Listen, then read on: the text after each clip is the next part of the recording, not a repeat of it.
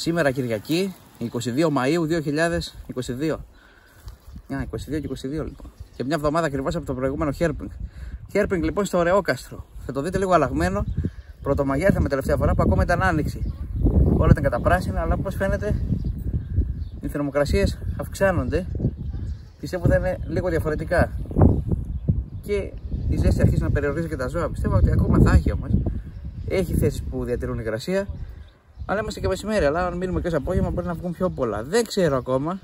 Η λίμνη ακόμα έχει πολύ νερό, έχει υγρασία. Δεν είναι όπως το καλοκαίρι που πηγαίναμε με την ξηρασία. Θα έχει σίγουρα, θα βρούμε. Ακόμα δεν έχει πολύ. 33 βαθμούς λένε για σήμερα.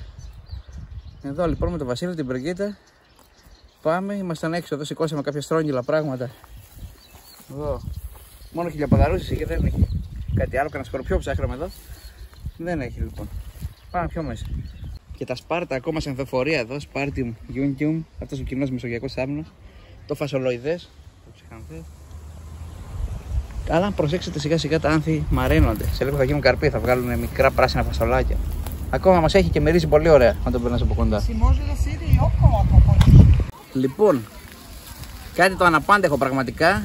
Θα το δείτε. Δεν το περιμέναμε καθόλου. Κανένας δεν το περίμενε. Λοιπόν, δείτε εδώ. Τεράστιος ενήλικος λαφιάτης. Ελάφε κουατουορλινεάτα, επιστημονική ονομασία.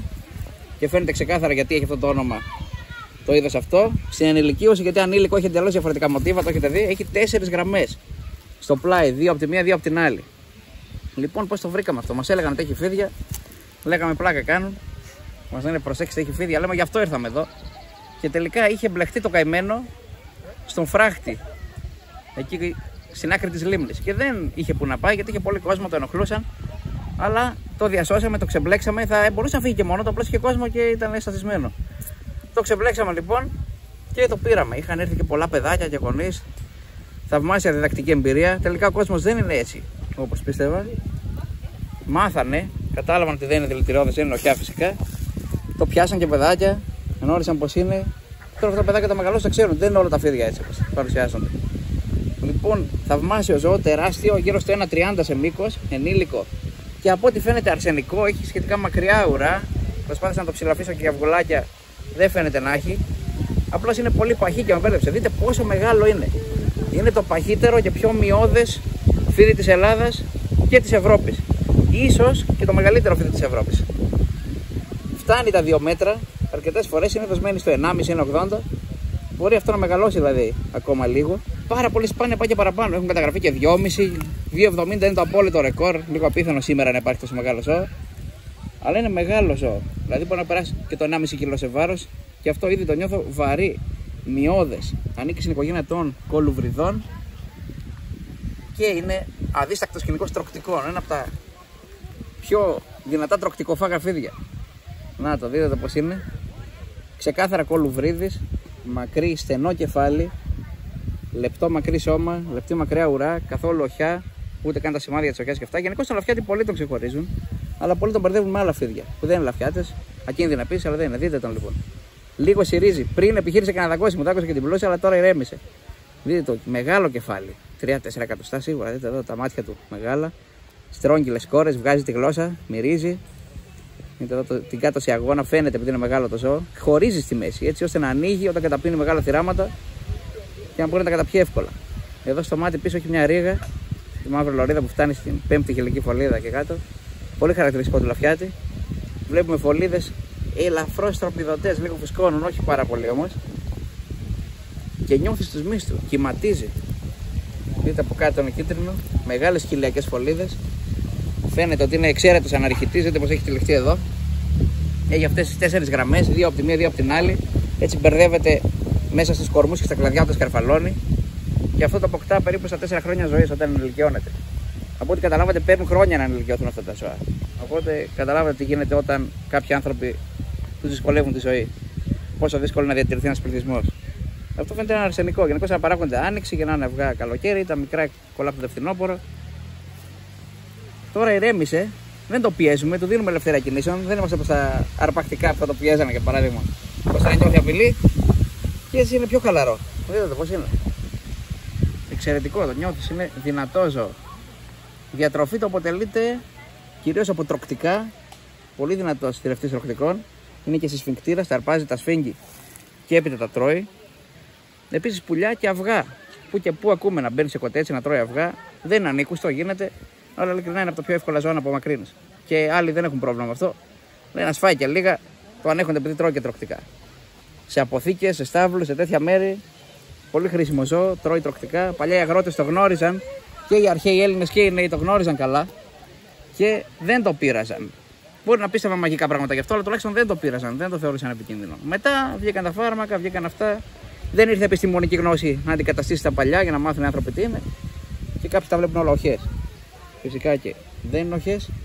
Είναι ένα πολύ μεγάλο, μεγαλοπρεπές φίδι, πανέμορφο, πολύ χρήσιμο για το οικοσύστημα και παντελώς ακίνδυνο και βέβαια όπως και όλα τα ερπετά στην Ελλάδα και στην Ευρώπη προστατευόμενο. Δεν το πειράζουμε, αν το βρούμε στο φυσικό του περιβάλλον δεν υπάρχει λόγος να το πειράξουμε.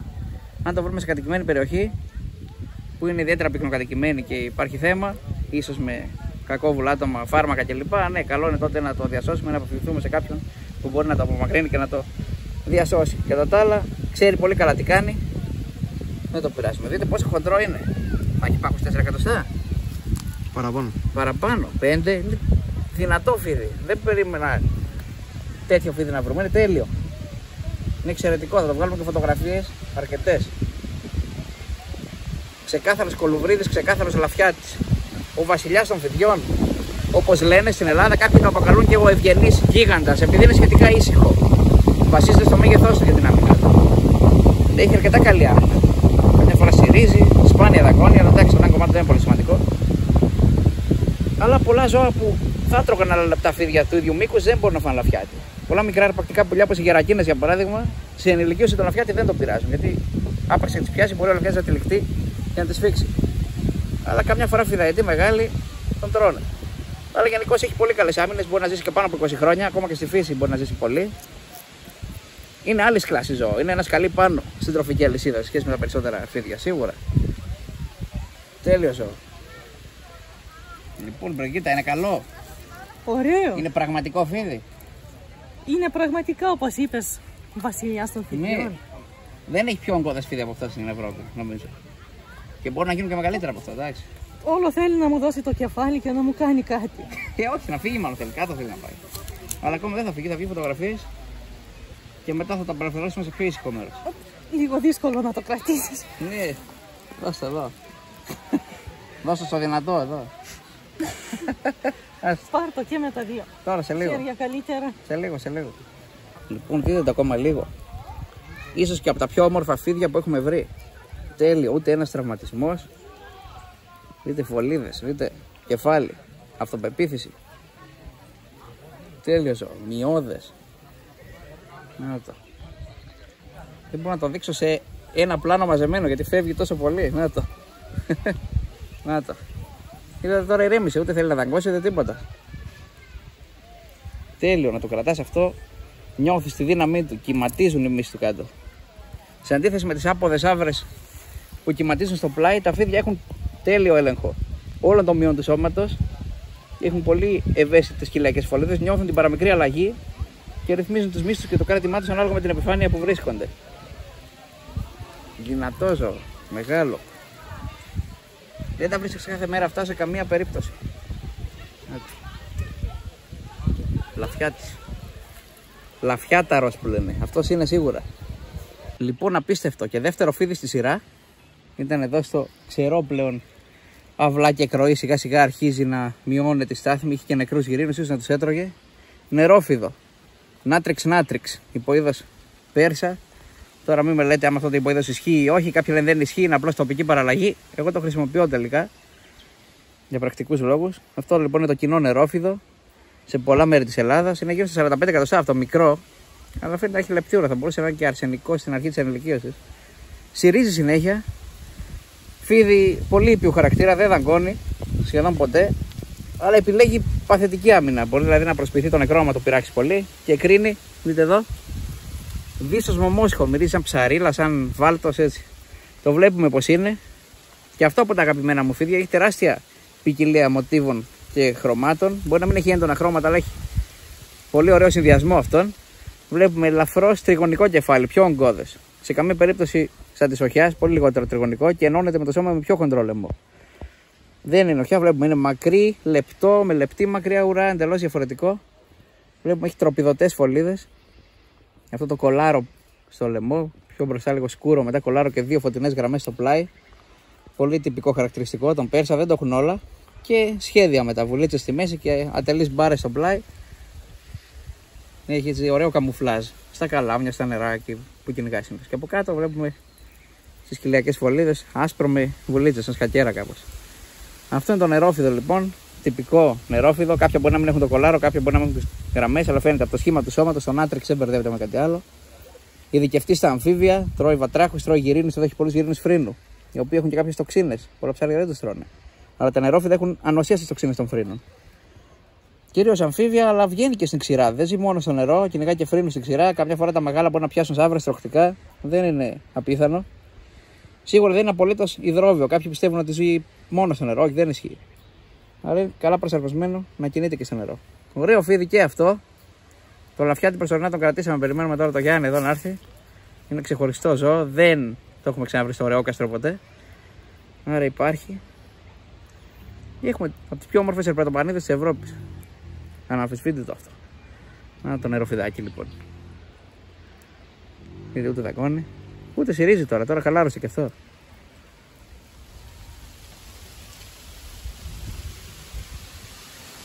Το θυμάσαι, μύρισε και λίγο το Μόσχο. Λιθουανική μυρωδιά. Λιθουανία. Όπως εδώ ο Λαφιάτη λοιπόν ήταν το σημαντικό φίδι που όλοι θεωρούσαν σημαντικό, έτρωγε τα τροκτικά κλπ. Στη Λιθουανία είχατε. Νερόφιδο. Εμετό, εμετό. Κάνει με το. Τι θα βγάλει; Γυρίνος. Άτος. Βλέπετε και την τροφή του λοιπόν. Δεν είναι σκοπός μας να τα κάνουμε να κάνουν, έτυχε. Λοιπόν, αυτό είναι το νερόφιδο. Εκεί στα βόρεια στην Ευρώπη είναι πολύ κοινοφίδι. Και επειδή δεν έχει ανταγωνιστές όπως λαφιάτες και λοιπά στην ξηρά, βγαίνει συχνά και στην ξηρά, έχει πιο ξηρό κλίμα και τρώει και τροκτικά. Γι' αυτό ήταν πολύ σημαντικό. Ακόμα και σήμερα είναι σε αυτές τις χώρες της Βαλτικής. Και στην Λετωνία νομίζω είναι και στη Λιθουανία πολύ. Έτσι δεν είναι; Δεν ξέρω τόσο για την Λετωνία. Έχω διαβάσει ότι το έχουν και σε στρατιωτικά σύμβολα κανονικά. Δείτε τη διαφορά πολιτισμού με εδώ. Ε. Όλοι τα βλέπουν οχές, κάποια. Και... Δεν είχαμε τόσες οχές. Είχατε όμως και εσείς οχές, αλλά δεν είχατε τέτοια πράγματα. Να το. Κάθεται ήσυχα; Όχι. Κάθεται. Α, Λίγο κυματίζει, αλλά. ωραίο φυσικά είναι. κάθεται. Σωστό νερό ήταν αντιπροσωπευτικό, μικρό, αλλά έχει όλα τα χαρακτηριστικά. Ώρα λοιπόν να αφήσουμε και τον άτρεξ να φύγει. Από φαγητό έχει όσο θέλει και που το έβγαλε δεν πειράζει, θα Μικρό ξαναφύγει. κεφάλι. Εγώ το φανταζόμουν έτσι να περάσει. Να σε δαγκώνει το. Για άλλο λέμε, δεν είναι τον άτρεξ. Δείτε τον εδώ κολοκιασμένο. Τελικά πολύ συνεργάσιμος ζώο για φωτογράφηση. Καλά είναι το τελαφιάτη. Είναι φωτογενής. Δεν φεύγει αμέσως. Και δίπλα του βάλαμε την κάμερα, ούτε μας φοβήθηκε, ούτε προσπάθησε να φύγει. Βέβαια, αν πας να το πλησιάσεις τα κλαδιά, μέσα πάει να πιαστεί, αλλά τώρα σε λίγο θα το αφήσουμε. Ήρθαν και ενισχύσει τελικά. Το είδαμε όλοι. Είναι χαρά.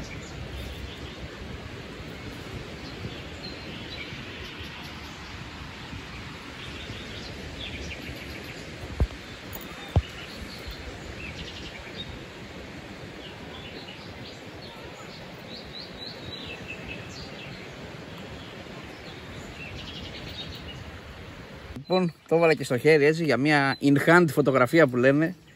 Στάνταρ όρο στο herping. Αν έχει ένα καλό φίδι, οφείλει να το βγάλει και στο χέρι. Λοιπόν, δείτε το. Τώρα ξεκουράζεται. Το έχω ανοιχτά, δεν το πιέζω. Κάθεται στο κλαδί του εδώ. Δείτε πώς έχει τυλιχτεί, σαν τον ασκληπιό είμαι εδώ πέρα. Τυλιχτεί γύρω, κάθεται εδώ με το κεφάλι. Λίγο πιο πέρα από τη βαλάμη. Τέλειο ζώο, τέλειο. Πραγματικά.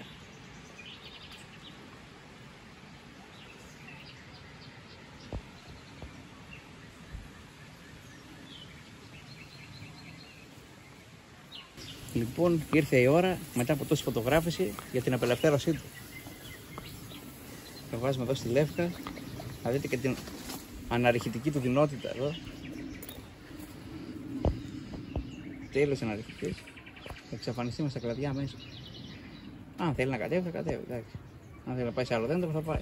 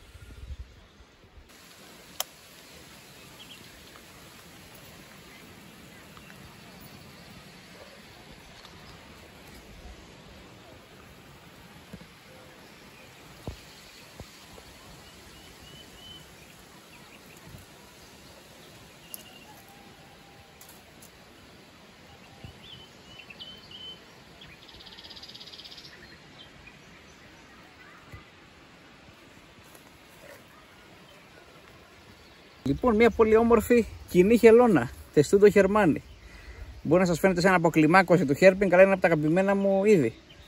Τέλεια χελώνα. Σκουρόχρωμη ιδιαίτερα και διατηρεί και τις αντιθέσεις των χρωμάτων. Είναι και σε ανάπτυξη, ακόμα έχει τις γραμμές. Δηλαδή προσθέτει μια κεράτινη πλάκα σύντο κάθε χρόνο κάτω από τις άλλες. Και έτσι δημιουργείται αυτό το γραμμωτό το μοτίβο. Είναι θηλυκό. Βλέπουμε ίσιο καβούκι από κάτω και αρκετά σκούρο από κάτω. Μικρή ουρά, μικρή υπερουραία πλάκα. Χοντρό καβούκι, έχει μεγαλώσει αρκετά. Βαριά, τρώνε ακόμα καλά, έχουν ενυδάτωση και βλέπετε εδώ έχει λίγο πυραμιδισμό, λίγο φουσκώνουν οι κεντρικές πλάκες, αλλά αυτό είναι σε φυσικά επίπεδα, δεν είναι κάτι το ακραίο, γιατί σε ακραίες περιπτώσεις είναι το σημαίνει ότι έζησε σε εχμαλωσία και δεν έτρωγε καλά. Αλλά αυτή είναι σε φυσικά επίπεδα. Εδώ βλέπουμε στην τρίτη, μια τρίτη σπονδυλική πλάκα, υπήρξε παλιά ένας τραυματισμός, ξεφλουδίστηκε και αποχρωματίστηκε. Καμιά φορά είναι και από φωτιά, αλλά είναι πολύ λίγο. Δεν νομίζω ότι είναι από φωτιά. Τώρα κάνει την άμυνά της. Κατούρισε λίγο. Και τώρα βγαίνει έξω. Μπορείτε να δείτε και το κεφαλάκι της. Πολύ όμορφη, ζεστή. Έχει κρατήσει ηλιακή θερμότητα. Έτσι. Λοιπόν, την αφήνουμε και αυτή να φύγει. Εδώ που τη βρήκαμε περίπου. Για να δούμε. Πώς να τρέχει.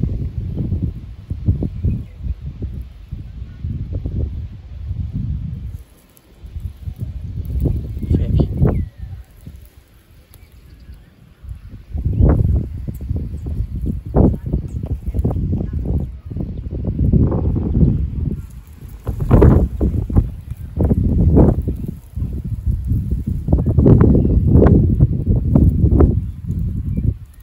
Λοιπόν κι άλλο τεστ το Γερμάνι, αρσενικό αυτή τη φορά.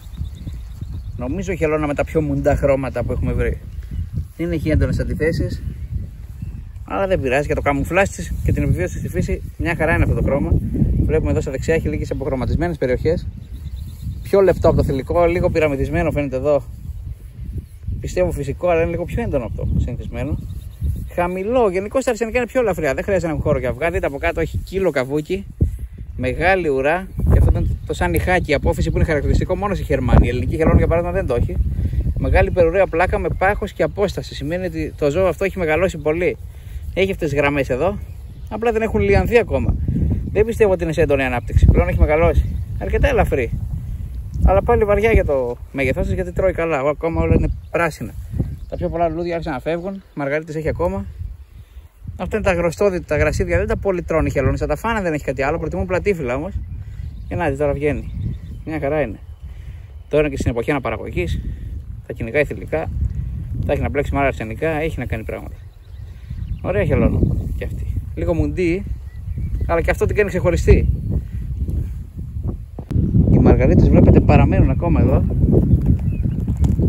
Οι παπαρούνες και τα υπόλοιπα μάλλον έχουν φύγει. Ακόμα αναπαράγονται τα πουλιά, κάνουν ήχο. Είμαστε στην άνοιξη ακόμα. Και αυτός ο καιρός μας ανησυχεί που και που γιατί ψυχαλίζει, αλλά έχει ενδιάμεσα ήλιο, έχει και αέρα.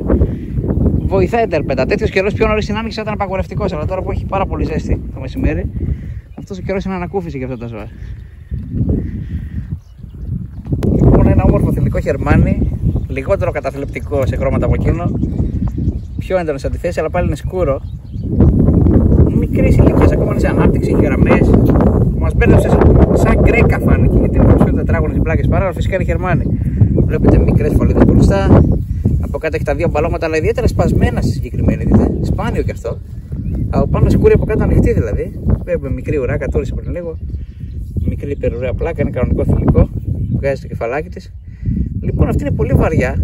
Μάλλον πήγε και έφαγε χορταράκια εδώ γύρω από τα πλημμυρισμένα μέρη που έχουν υποχωρήσει τώρα. Έχει αυτό. Και έχει, έτσι. Οπ. Έλα, ρε.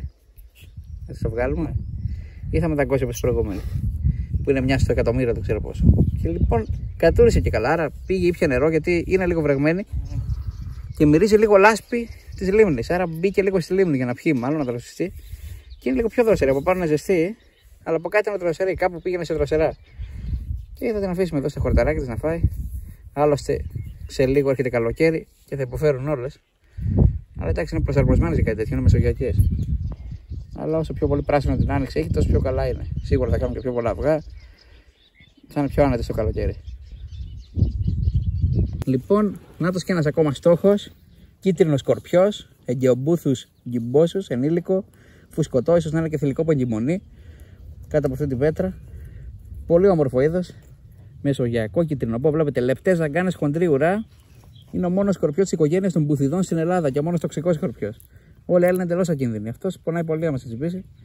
Αλλά πρέπει να το πιάσει βασικά να σε τσιμπήσει. Δεν πρόκειται να σε επιτεθεί. Πολύ όμορφος σκορπιό. Κοινός στην περιοχή.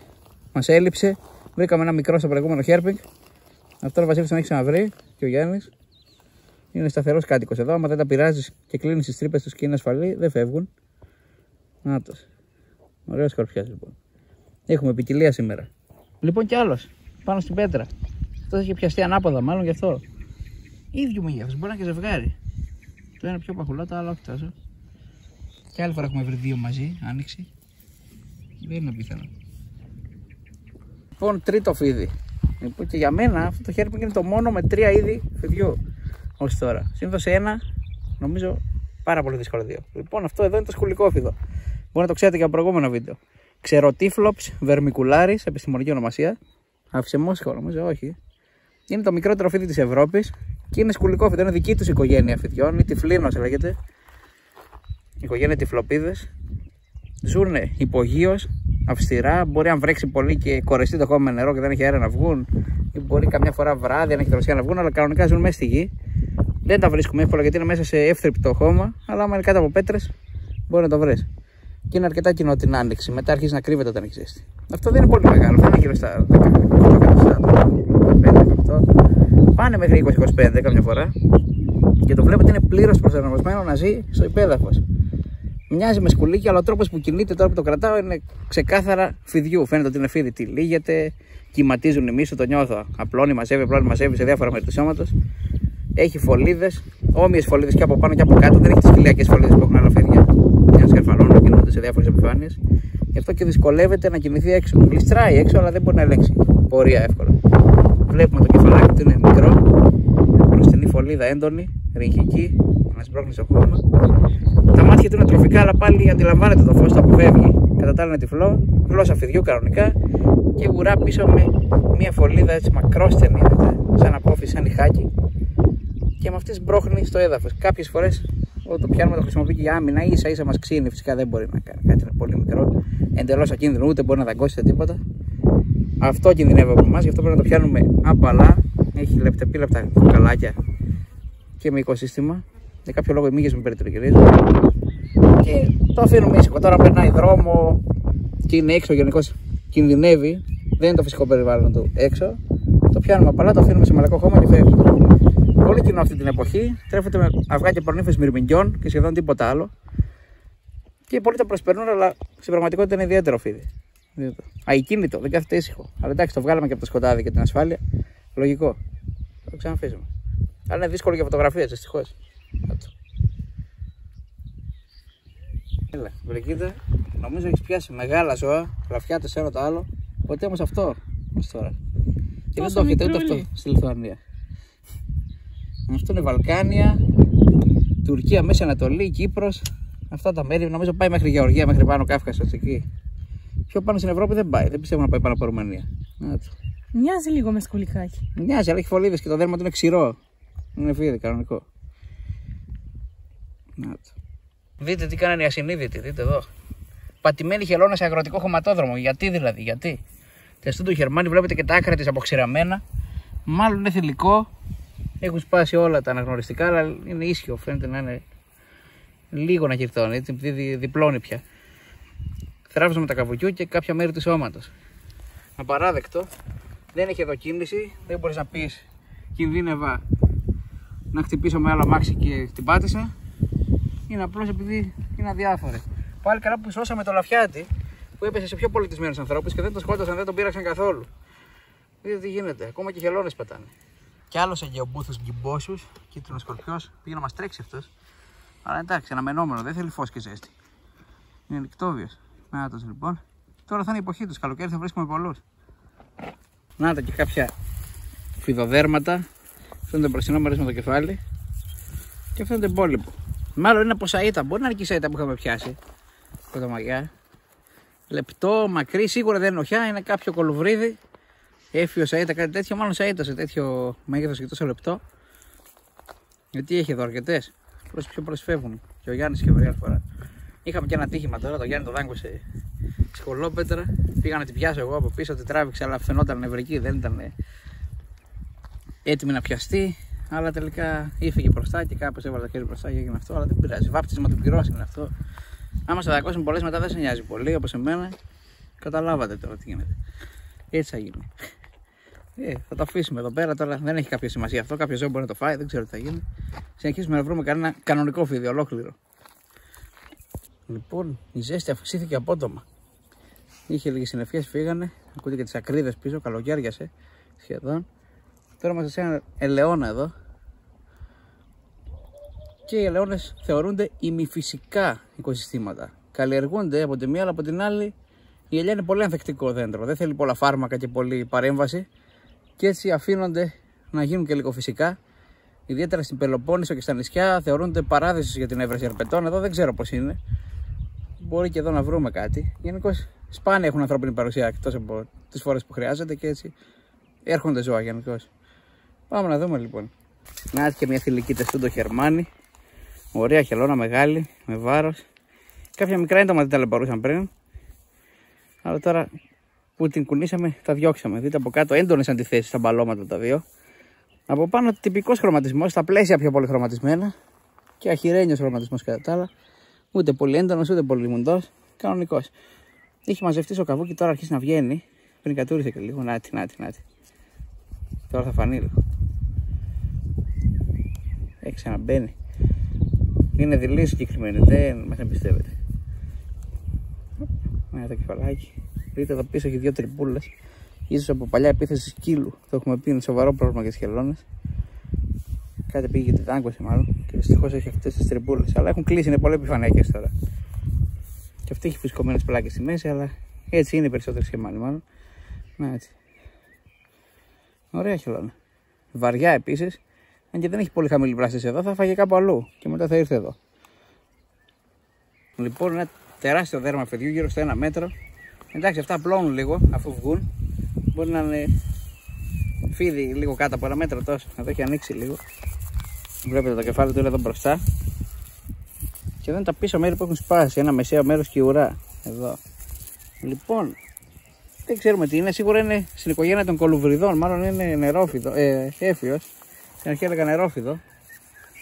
Και τα σχήματα του βλέπετε δεν φαίνονται έντονα γιατί το φίδι όταν βγάζει το δέρμα το βγάζει ανάποδα. Τρίβεται με το κεφάλι σε κάποια σκληρή επιφάνεια, ξεφλουδίζει από εκεί το δέρμα και μετά βγαίνει και αυτό γυρίζει από μέσα προς τα έξω. Δηλαδή αυτέ εδώ είναι οι κυλακέ τυφολίδε. Ανάποδα όμως, από τη μέσα μεριά. Να τι ραχίες, εδώ είναι οι κυλακέ. Βλέπετε και εδώ. Θα το αφήσουμε και αυτό. Θα συνεχίσουμε, μήπως και το βρούμε. Δεν πιστεύω, αλλά φαίνεται παλιό το δέρμα, δεν νομίζω να το βρούμε. Και άλλο φίδο που κάμισε εδώ. Βλέπετε αυτό είναι το παλιό. Αυτό το είχε βρει ο Βασίλης 2 Μαου. Εδώ είναι η ουρίτσα και το πίσω μέρος εδώ είναι το μπροστινό, σε αριστερό μου χέρι με το κεφάλι μπροστά. Αυτό φαίνεται ότι είναι παλιό. Είναι πιο δίσκαμπτο, πιο ξερό και πιο εύθραυστο. Να τις οι φωλίδες. Ανάποδα είπαμε. Αυτό είναι λοιπόν. Τα φίδια αλλάζουν δέρμα, είναι σε εποχή αναπαραγωγής, κινούνται παραπάνω. Δεν πιστεύω πως θα τα βρούμε, μα έχουν φύγει από τότε που άλλαξαν. Αλλά δεν ξέρουμε, ίσως κάτι να βρούμε ακόμα. Λοιπόν, εδώ τελειώνει και αυτή η εξόρμηση. Ζεσταθήκαμε μετά καλά, τελικά έβγαζε ήλιο. Αλλά η εξόρμηση είναι μια τεράστια επιτυχία. Και σε αυτό παίζει ρόλο όχι μόνο η εποχή, αλλά και στο ότι ήμασταν στο κατάλληλο μέρος σε κατάλληλη ώρα. Διασώσαμε λοιπόν το λαφιάτι στην αρχή. Ήταν εκεί στα κράνια, λογαριμένο δεν είχε πού να πάει. Κόσμο από τη μία, νερό από την άλλη. Τον βγάλαμε, τον είδατε, τεράστιο φίδι, το πιο μεγάλο φίδι σε κάθε χέρπινγκ. Και γενικώς ο λαφιάτι είναι πολύ μεγάλο ζώο, μειώδες, επιβλητικό, πανέμορφο ζώο. Τον αφήσαμε πιο πέρα. Βρήκαμε και νερόφιδο, άλλες φορές και περισσότερα που δεν ήμουν εγώ. Αλλά και πάλι βρήκαμε ένα αντιπροσωπευτικό ήταν. Μετά ξαναψάξαμε, δεν είχε. Στα πιο πάνω μέρη μετά και χελώνες, ακόμα δεν έχει ζεστάνει τόσο πολύ και μεσημέρι βγαίνουν χελώνες. Και κίτρινοι σκορπιοί και αρκετοί μαζί. Τόσο καιρό έχετε να τους δείτε. Σκουλικόφιδο, δηλαδή τρία είδη φιδιών πρώτη φορά. Δυστυχώς χάσαμε και μερικά ζώα. Δύο πρασινόσαυρες μας έφυγαν και ένας λαφιάτης ακόμα. Που σίγουρα δεν ήταν ο ίδιος, ήταν άλλος, ήταν σε άλλη κατεύθυνση. Ευτυχώς όμως τα πράγματα αλλάζουν. Δεν τον πείραξαν. Απλώς μας είπαν που είναι, τους έκανε εντύπωση, αλλά μας είπαν και που έφυγε. Το ψάξαμε, δεν ήταν εκεί. Κρύφτηκε καλά, είχε πολλές θάμνες, αν καθοτά. Σίγουρα κρύφτηκε. Αλλά ο Λαφιάτη σίγουρα ήταν άνευ προηγουμένου φοιτή. Δεν περίμενα ότι θα το βρούμε. Το ακούγαμε ότι υπάρχει και κοντά στη Θεσσαλονίκη. Δεν το πίστευα εγώ τώρα. Έλεγα είναι μεγάλος ζώο. Πώς να κρυφτεί, πώς θα ζήσει με τόσους ανθρώπους. Αλλά ζει, υπάρχει. Απλώς αποφεύγει τις πολύ υψηλές θερμοκρασίες το καλοκαίρι. Τώρα άνοιξε δραστηριοποιείται πιο πολύ. Τώρα είναι και για την αναπαραγωγή, κινείται λίγο παραπάνω. Τρώνε παραπάνω. Πολύ ωραίο ζώο λοιπόν και μόνο γι' αυτό ήταν επιτυχία, αλλά βρήκαμε κι άλλα. Θα συνεχίσουμε λοιπόν σιγά σιγά θα αρχίσουμε και τα απογευματινά και τα νυχτερινά γιατί προχωράει η χρονιά και ζεσταίνει ο καιρός. Αλλά θα έχουμε ακόμα και ημερήσια όταν είναι κοντά σε νερό και τέτοια περιβάλλοντα. Αυτά λοιπόν προς το παρόν. Γεια σας.